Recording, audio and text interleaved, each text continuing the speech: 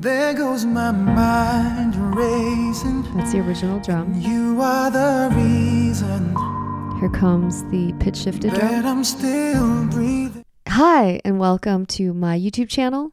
My name is Lijie, and we're going to do something a little bit different today. As a music reactor, sometimes there's this expectation that we only say good things about a song performance. I totally get it. Nobody likes a negative Nancy. But at the same time, the reason why we watch reaction videos is for people's honest reaction, right? For their honest opinion. I recently did a reaction to Daryl Ong and Morissette singing You Are the Reason, but in that video, I made a comment about the production and I got some critiques. Here's that original reaction. There goes my mind racing, and you are the reason. Okay, this is not about his singing, but that that like snare, that filtered snare sound, the tone of it is really cool, but it's in the wrong key. It's in the wrong key of the song. I don't have perfect pitch, so I don't know the exact pitch. I just know it sounds off. So I made that comment about the production and I got some critiques in the comment section.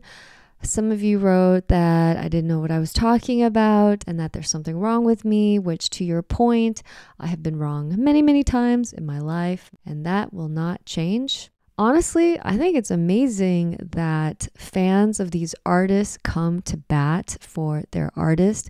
I just want to show you in this video what I meant when I said the snare was not in the right key.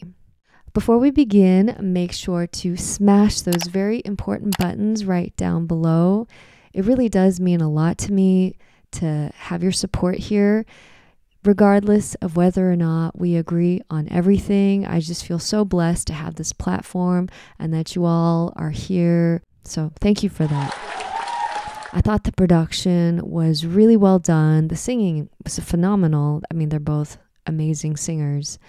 And if I would have made this track a few years ago, I would have been thrilled. I would have been over the moon at the quality.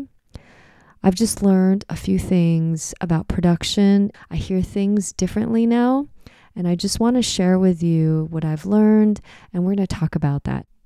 The first thing I did was I took a clip of the song and I put it into this website called voice.ai.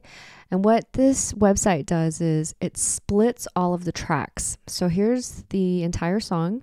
Right, you can hear the piano, hear the drums come in, the bass, and then it splits all the instruments individually. So here's the bass. You can hear just the bass, right? Here's the drums. And then you hear just the piano. And then you hear just the vocal. Beating, cause you are the reason. I mean, it does a pretty good job. It's not perfect, but it does a really, really good job. And then I downloaded just the drum file and I dragged that into a software called Logic. What you're seeing on the screen right now is a WAV file of the song, and I pulled it into a software called Logic. Love Logic. Drop a comment below if you use Logic and you love it as much as I do. Ever since Finneas came on the scene and he just made all those beautiful tracks with Billie Eilish using Logic, it really gave Logic some serious street cred. On the top row, we have a WAV file of the song. Let me play it for you. There goes my heart beating, cause you are the reason. Such a nice voice. Right here, we have that filtered snare sound. I like to call it a filtered snare. I read in the comments that uh, it could also be a wood block, which it does sound like a filtered wood block as well. Let me just play that for you. So there's that one. Okay. So to the left here in Logic, there is a blue button and it's highlighted. It says tuner. And what's great about this built in tuner is that it will tell you the pitch of something. Unfortunately, my OBS is not showing it, so I'm going to take a screenshot and then I can add it to the screen. It does show that it's about, uh, it's like flat of C. Without getting too in the weeds about the production and like these production terms, I've enabled something called flex pitch, and this flex pitch shows you the pitch of this particular snare sound. And it's shy of C, right? So it's not actually hitting the C. And, and the note C is in the key of B flat. So this song is in the key of B flat. However, it's not actually a C, it's actually pretty flat of C, which is why to my ears it sounds dissonant. So, what I'm going to do is I'm going to try and pitch this drum into a B flat or an A sharp. Same same thing, right? Two different names, same thing. And we're going to hear what it sounds like. So these blue sections show the original pitch of these drum sounds, right? It's right around C, flat of C.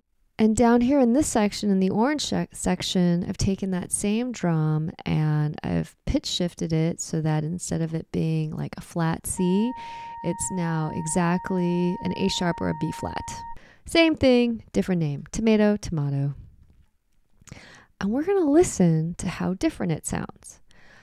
In the blue sections, we still have that original drum, and the the orange is when the new like pitch shifted drum comes in. It might sound a little wonky because we don't have the original audio files, but you will get an idea. There goes my mind racing. That's the original drum. You are the reason. Here comes the pitch shifted drum. I'm still breathing. I'm hopeless now. Let's just hear that one more time. There goes my mind racing, and you are the reason that I'm still breathing. I'm hopeless now. I hope this video made sense. I just wanted to show you why I heard that drum note as just sounding dissonant. It sounded off. You know, this song is in the key of B flat. That particular drum note is uh, not quite the note C. It sounds somewhere between like B and C. It just sounded dissonant to the key of the song. Amazing. Thank you so much for checking out this video. I hope you learned something today. I hope I was able to share something that was interesting and useful. Let me know in the comments what you thought of this video. I've never done a tutorial. I mean, I guess that's what this was, right? It was kind of like a tutorial. I've never done a tutorial like that before. And if you want to see more videos like this, drop a comment below. If you thought this video was boring, feel free to let me know as kindly as possible. And if you want to just see me do reaction videos, feel free to drop a nice, kind message in the comments below. Again, I really, really appreciate your support. I love it when you all like comment and engage with the video, with, with each other. It makes this feel so much more connected, and I love that. Okay, on that note, be healthy, be blessed, and until next time.